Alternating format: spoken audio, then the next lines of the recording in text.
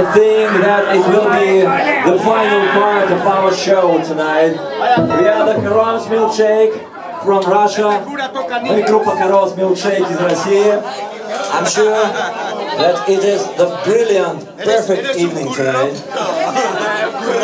And thanks for for Bastian, yeah. Without you, it, it couldn't happen.